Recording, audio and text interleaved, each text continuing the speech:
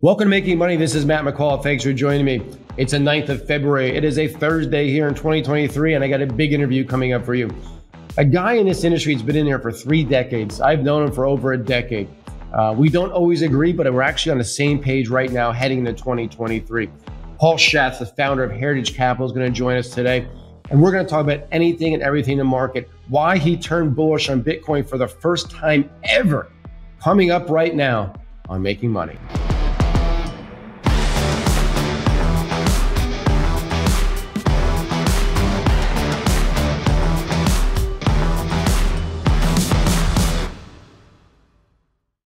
One of the most successful entrepreneurs in America over the past 50 years is going public with his fourth and final prediction about a scenario he calls America's Nightmare Winter. You've probably never heard of Bill Bonner, but in addition to owning an interest in businesses all over the globe, he also owns more than 100,000 acres with massive properties in South America, Central America, the US, plus three large properties in Europe.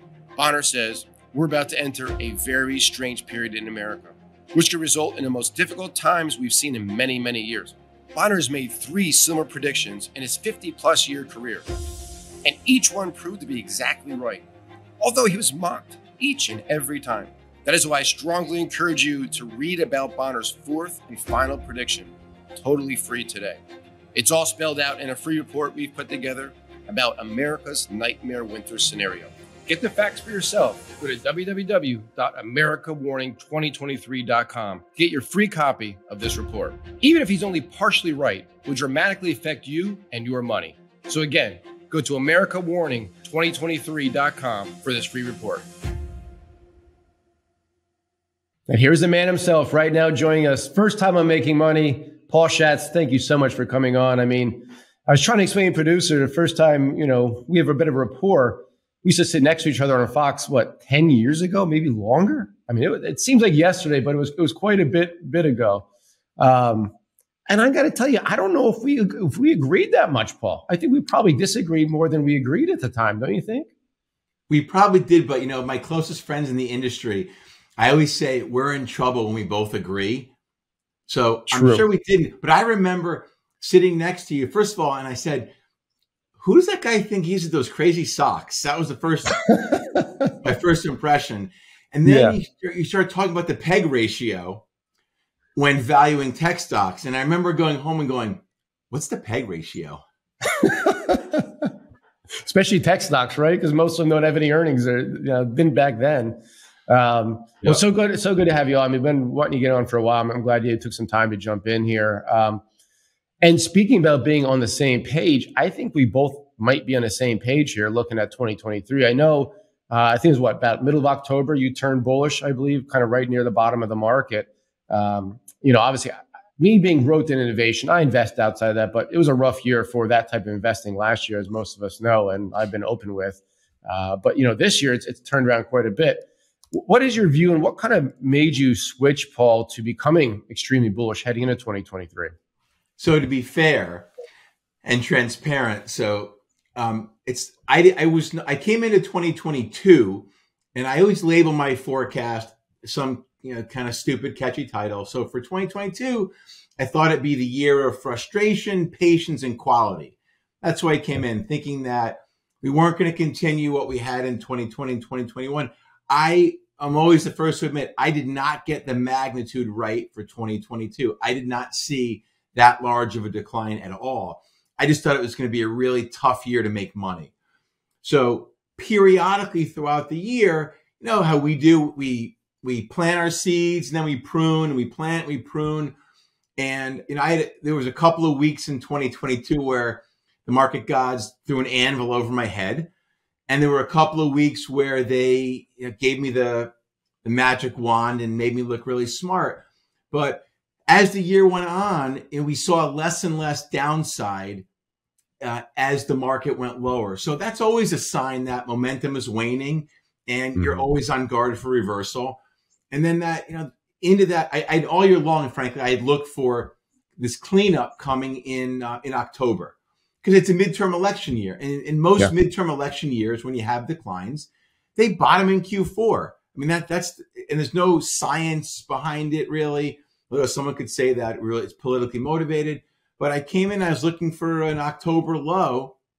That October 13th date was so crazy. I remember sitting here, chained in my chair. It was so crazy. I remember the next day I walked in, I said, you know, either the bear market ended or we just put in a major bottom.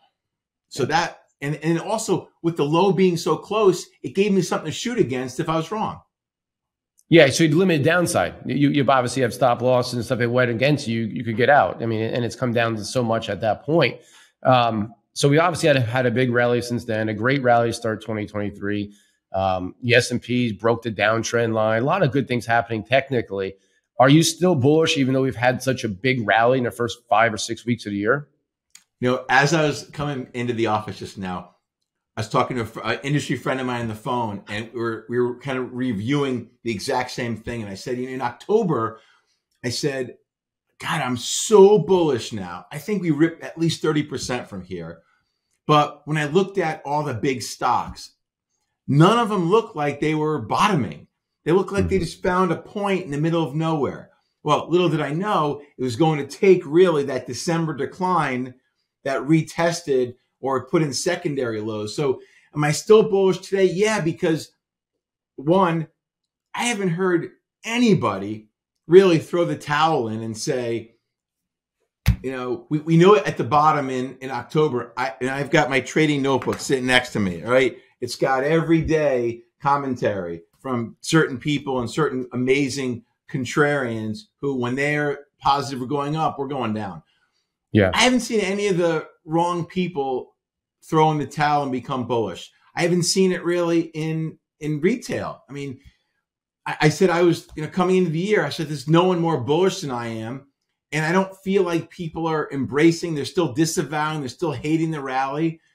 They're, they still think that you know recession is we're in the middle of it, and then the first quarter and first half are going to be awful.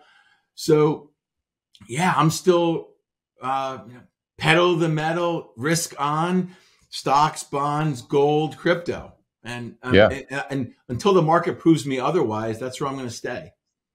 So, what is your typical like holding period? Does it vary? I mean, are you do you kind of just take the, the trend where you're given right now? Do you look out several years? What what is your average holding period here for your investments? So we run, uh, no shameless plug. Sorry, we run 18 different portfolios, and they're all quantitatively based, and each one has its own. So we have some strategies that will hold for a day or two or three, and that's okay. That's what the modus operandi is. And we've got other ones where we position for months and quarters, and frankly, in, you know, into into the year timeframe. So I really, I I try not to get hung up on a holding period.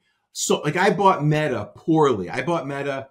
I now if I find calling it Meta, I bought it above 300. And, and I did a poor job buying it, which I recognize. I held it, really bad move. Thankfully, it was only half a position, but I didn't add to it. And I just kind of traded around it on the way down. Um, but I did a poor job. That was going to be a, that was going to be a core holding. Then it was a short term holding, or vice versa. So it's easy to go into a position with what you think's going to happen, but until someone punches you in the mouth, you really don't know. But I always try to have a plan before I own something. So, do you see? Um, you mentioned Meta, obviously Facebook, Meta, the big names. Are you more attracted to these big names, the the the large, uh, gigantic companies out there, or you kind of look for a little bit more opportunity in maybe the smaller, large caps, mid caps range? I think it's both and depending upon the environment. And I'll, and I'll give you an example. If if you and I both got together on October 13th and we said, this is the bottom, we're going to rip from here. Well, you know that the first leg off a bottom, it's not sometimes, it's not occasionally, it's almost always the most beaten down, the most shorted, the most garbage runs the hardest and the hottest first leg higher. So those big, you know, Fang plus the rest, the other, you know, dozen stocks, it's hard to really say you're so bullish and you want, and you see this bounce coming. Those stocks, by just by kind of definition, have to go. And yeah. I think we're in that phase right now where markets have bounced beautifully off that October 13th low. And that, and they again, again, they bounced off of the December lows.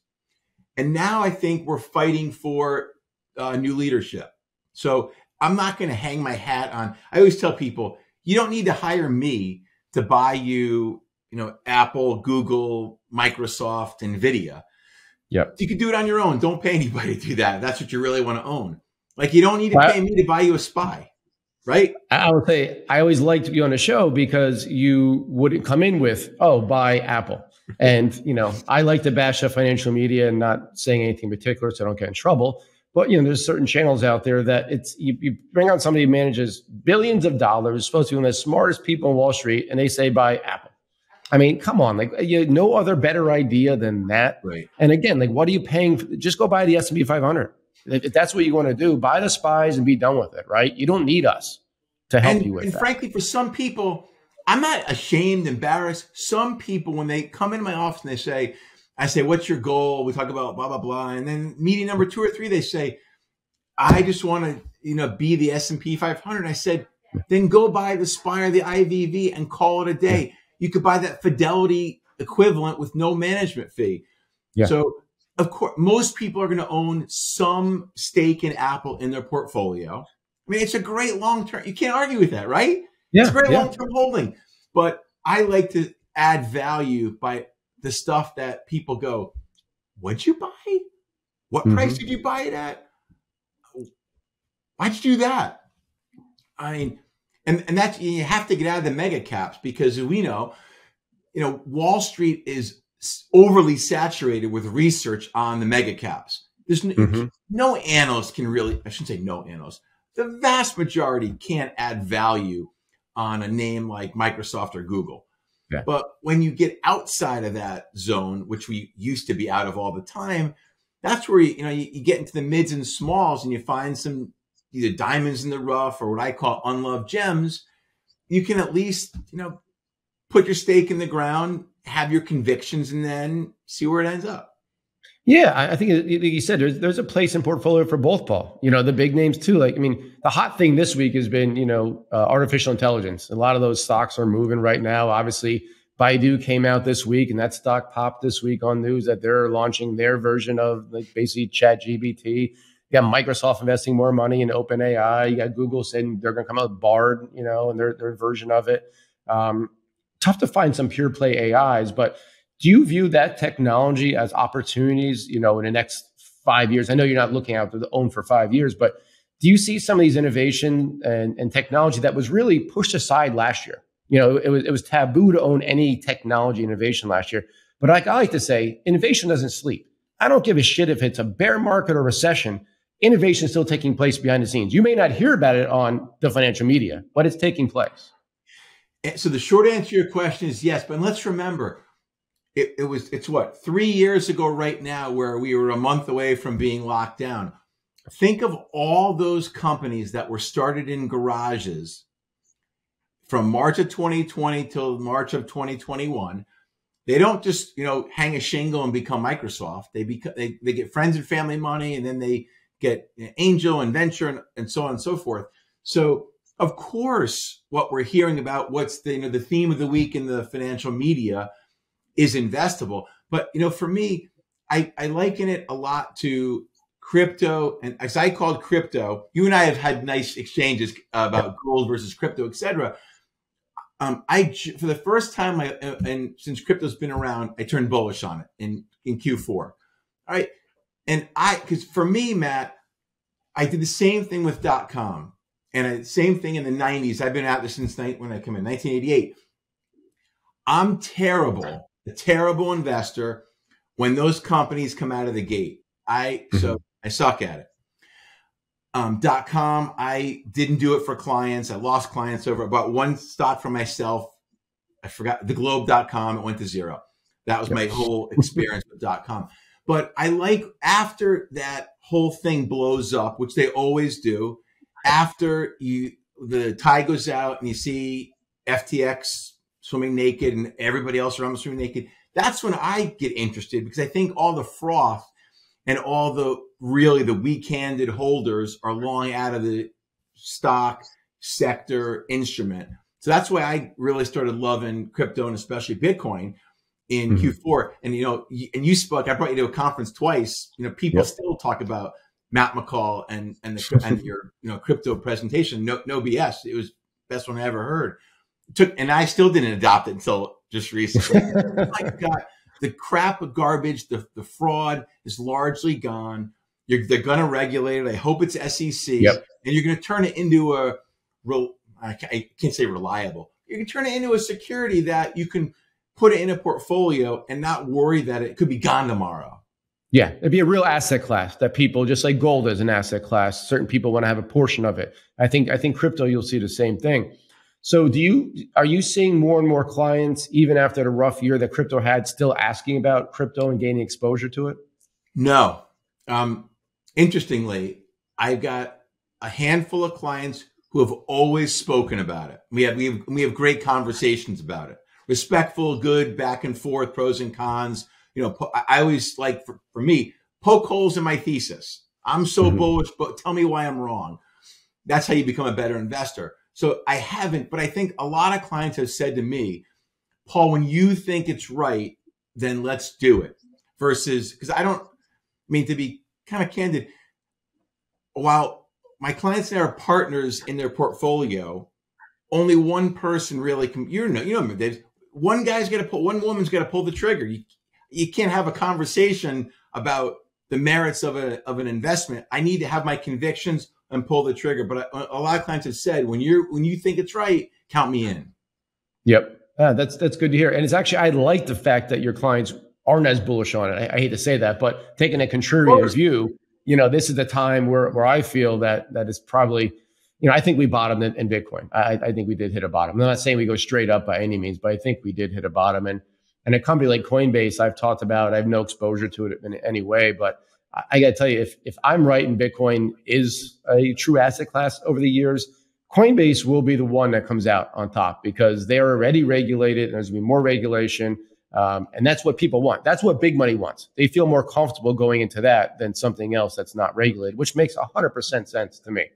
Um, we own, uh, for full disclosure, we own um, Coinbase. Okay.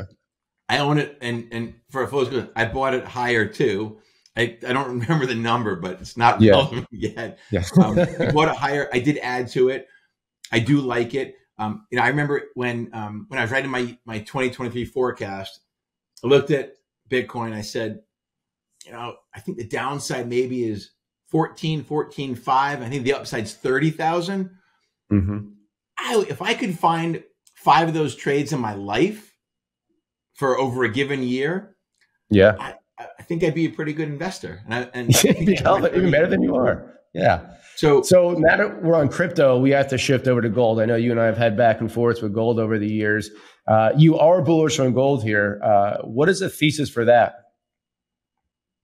I flipped the coin. I used my Ouija board. It said go. so it's a couple things. One, um, I thought the bear market uh, was ending last year. I think I think when you look at and there's not a ton of information on you know gold and crypto. It's not like a company where you can do all this in-depth homework and mm-hmm. get an edge over somebody else. So you have to have some kind of macro thesis and believe in the instrument. I mean, we run two gold strategies. I'm not a gold bug, you know, and I'm negative on gold way more often than I am positive on gold. But to me, that there's a couple driving factors. One, um, while I didn't think the Fed would cut rates in 2023, I do think the Fed's going to neutral, mm-hmm. and and neutral is enough on gold to get the asset class moving. That's number one. Um, number two, I thought that you know Europe and the UK remain that bug in search of a windshield. Th- those Europe and, and UK, those currencies are just not sustainable long term. So if they're not sustainable, you have the dollar, which had an amazing run through you know nine months of last year, and people aren't going to trust the Chinese currency. Let's be realistic. Yep. The yen, I think, you know, is is beyond crazy volatile for a currency. So I think and gold doesn't take a ton of buying to really move that asset class. So between Europe and the Fed, I think the backdrop is pretty good. I thought gold would go uh, above 2000. Now I'm thinking maybe I'm too conservative. Maybe could go to 2500. But gold isn't oscillating like a currency. It doesn't move like, you know, Apple long term.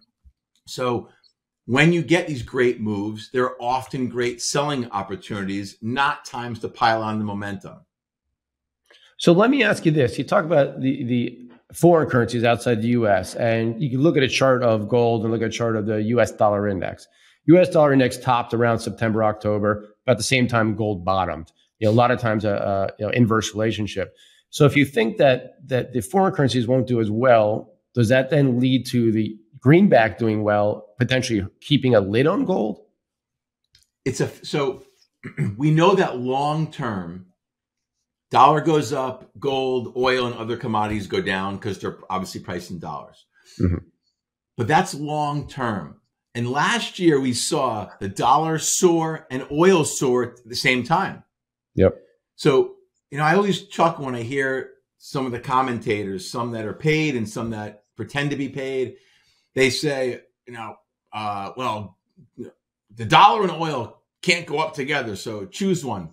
Nonsense. Certainly can't. It's like yeah. when they say the dollar and stocks can't both go up together. Really? Well, go look at the 1980s, the great bull market of the 80s when the dollar soared and stocks soared. I think you could have a period where the dollar is tame. It doesn't, it may not have a big trending move. It could go mm-hmm. back to uh, some kind of period of digestion. And you get gold that just takes off and has a really phenomenal year. I, I, I always tell people be careful when someone says something has to happen or always happens. What areas are you looking at now that get that have you excited for this year, Paul? So I would say coming into 2023 in 33 years, I've never been more excited than coming into this year. And I, I'm, I'm not, you know me, wow. I, I don't BS. I real, I came in like this little kid in the candy store. I mean, I don't want to say that on December 31st, I was so pessimistic and Jan 1, I'm like, yes, this is great. Yeah. But starting in, you know, kind of Q4, I said, geez, well, I, I, I love semis. So that's okay. So that's obviously risk on. I love this thing called Bitcoin, which I've never loved in my life. I love gold. I'm really excited about that. Uh, in 2023, we took a position, which is now a decent sized position in FDN, which is an internet ETF. Mm-hmm. Um, I own uh, biotech is my I think it's my biggest sector position. So you talked about innovation earlier. I bought biotech. We were a little early last year. Um, I added to it because I had really high conviction. So I added to it opportunistically into those plunges. I think biotech could be maybe the best sector, but certainly uh, up on top this year. I think there's so many great opportunities. You know, as I t- tilt my head and look at my other screen at some of the stocks that we bought um, in, in Q4, um, I, I was really focusing on Q3 and four stocks with big insider buying surges because the you know we I thought the economy was going to weaken, so I figured if you get a stock that's been decimated and the and the the, the the top management of the company is buying, knowing the economy is going. So we bought, yeah, you know, Rocket Mortgage. I waited all year to buy Rocket Mortgage till Q4. They, they, their insiders bought it the whole second half of last year. Um, Six Flags. I was a head scratcher. How are these insiders buying the stock if we're going to have this big bad recession? Because Six Flags would get pummeled in recession. It's not easy to beat the S&P 500, and especially as the cap weighting has become more dominant with obviously technology. Yeah. But to me, I mean, if, you're if the client says, "Hey, Matt, Paul, uh, just I really want the S&P's returns. Buy the S&P, call it a day. If your client is a little more thoughtful and says, I don't care about the S&P over any given calendar year, but I want you to add value, now that gives you a little bit of a runway because yeah. frankly, we're going to make mistakes. I make mistakes every day, week, month, quarter, year. 33 yeah. years, always make mistakes. You learn yeah. from them and you move forward and do every year I come in and I tell people my number one goal this year is to be better. I just want to be better than I than I've been. So being a strat, if I want to come back, boy, to be a a buy side strategist or a sell side strategist. I mean, write some reports, smile on TV, get paid for being wrong. Um, that sounds pretty easy. I always thought to come back as an economist because you basically, I think, get paid more being wrong as an economist, especially if you get hired by the government. Like I just, you just make shit up from day to day. I mean, that's, I mean, I'm sure you've seen that study that literally goes back hundreds of years, Oh, right? Have you seen that? And and they, they basically say no economist has ever really called recession a true recession ahead of time. Never. That is I insanity.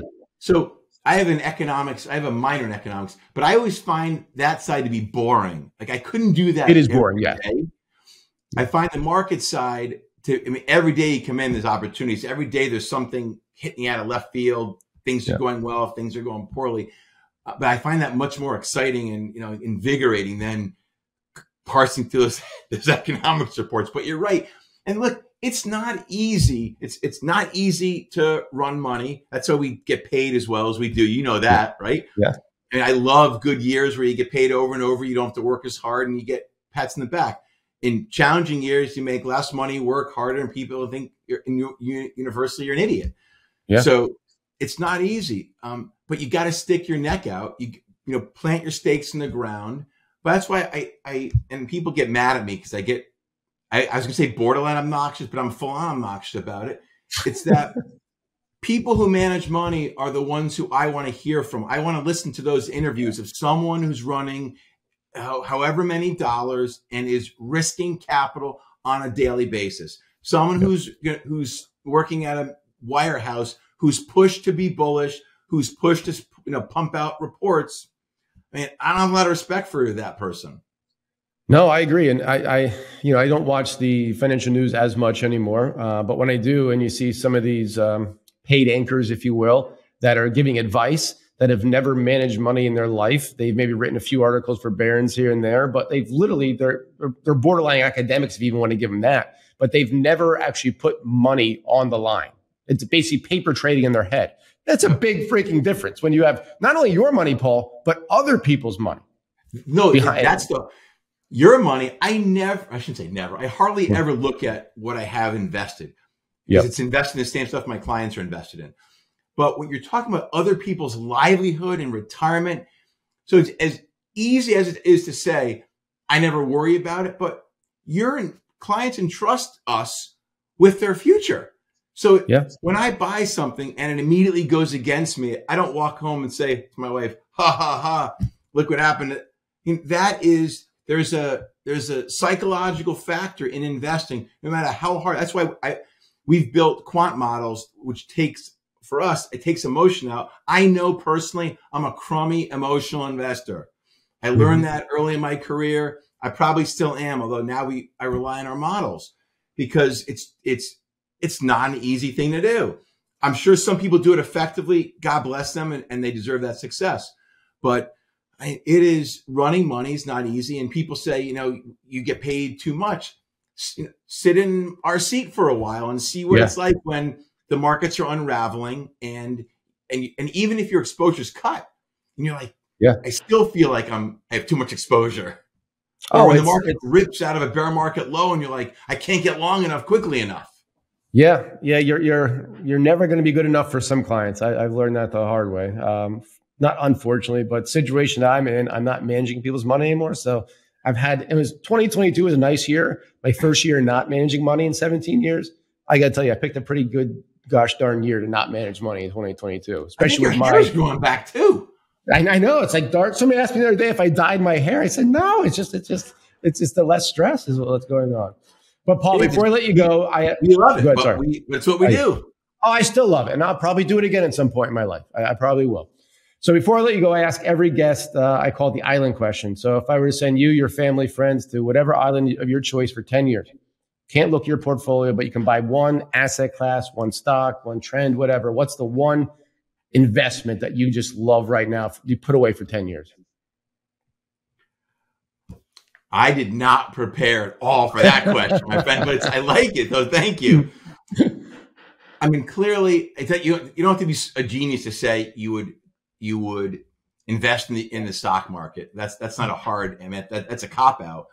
Um, but I would say, um, I'm giving you two ways. One, I'm I'm going to say Bitcoin is one of them.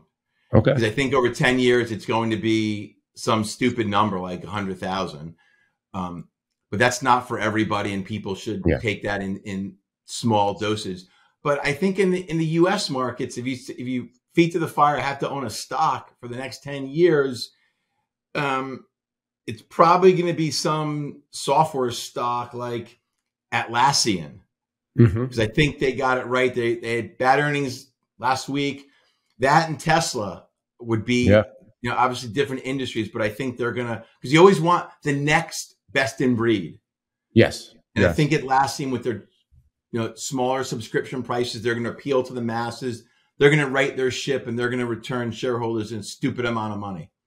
And and you know, Atlassian, the symbol's team for every other TAM. Uh, that stock's been hit. I mean, that stock was nearly five hundred dollars. You know, it's down to one seventy seven, but it's down about one fifteen not too long ago. So this it's come down, and and I agree with you. I mean, that's that's the kind of company that you know. I looked at a lot of these companies like that, Paul, that came down, and like I don't know where that bottom was. I didn't know it was going to bottom at ninety or one ninety. You didn't know at some point, but if you believe in a future of this innovation and what they're doing, they're going to be successful. I mean, that company's going to be around. I, am not, not, worried about that. Yeah. But how long can a stock like this go sideways before the next leg up? I don't know that. And you have to be patient, I think, with a company like that.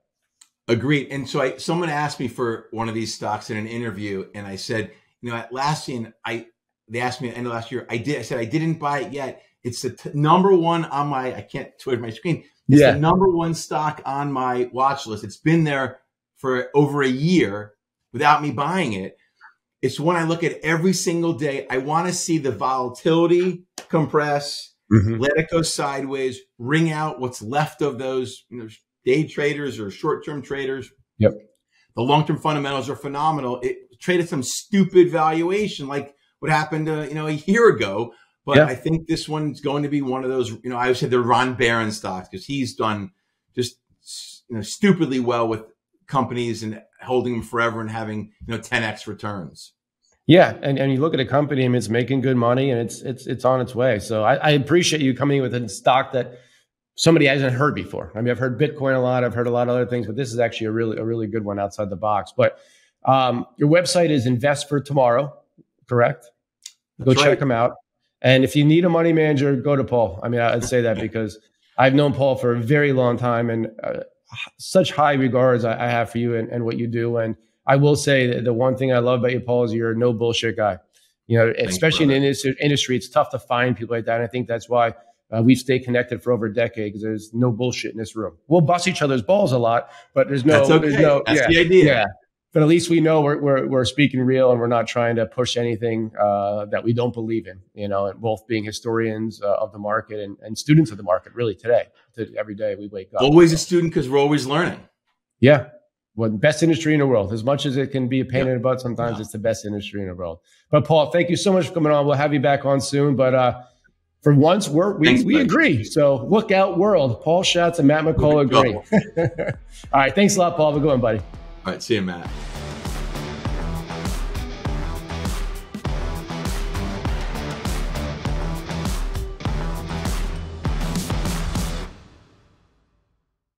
Opinions expressed on this program are solely those of the contributor and do not necessarily reflect the opinions of Stansberry Research, its parent company, or affiliates.